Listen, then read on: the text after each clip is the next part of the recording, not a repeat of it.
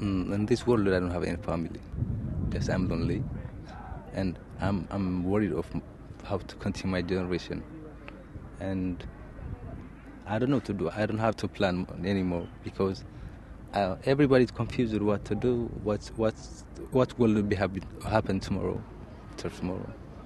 Every everybody think, is thinking about today. How will we survive today? You can't see everybody is running for survival, and it's a little bit hard to, to explain our my plan. This is our we are trying to fix our new, apartment. They ask me to fill forms about refugee status, and I fill one form, and it's uh, I'm waiting for three interviews to get one refugee status. Maybe through three, four, five, six months. I don't know. A lot of people is trying to go back to to Libya to trying to to, the Mediterranean to to to a better life. Moi, je suis parmi euh, la famille des mineurs euh, en Somalie là. Alors là, on a tué mon père, et puis au moment qu'on a tué mon père, nous et ma famille aussi, on a quitté ensemble. Et jusqu'à présent, même ma famille ne sont pas en Somalie. Ils sont en Éthiopie. Moi et ma femme, on s'est mariés en Libye. Et puis on est venu à Choucha ensemble, au moment qu'il y a eu la guerre en Libye. Ainsi de suite, ma femme était enceinte de trois mois. Et d'un seul coup, elle a décidé de retourner à Libye. Elle a pris euh, un bateau pour rentrer. Euh, elle a tenté de rentrer à l'Europe, en Italie. Mais elle était morte dans la mer euh, avec deux autres Somaliens. Je suis désolé, mais elle m'avait rien dit au moment qu'elle quittait aussi.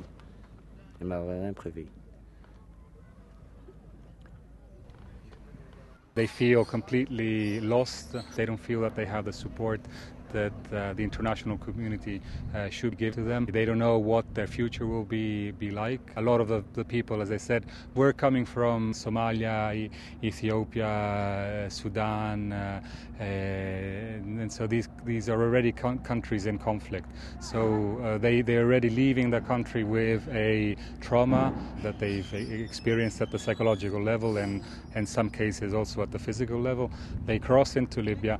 In Libya, they go into this sort of uh, detention center where a lot of people get tortured, so that ag- aggravates their sense of uh, mental condition. Arriving in Tunisia, hoping that the international community uh, would help them out, and instead they are arriving in, in a camp where there are a basic la- lack of facilities, so the, the people don't know what, what to do.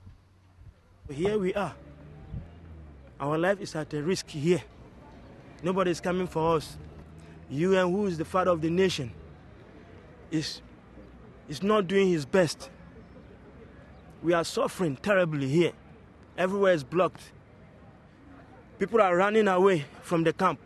More than 250 people since the crisis started have gone back to Libya. I myself, as you see me here, I'm planning to go back to Libya. It's better for me to die once than to be here and die slowly.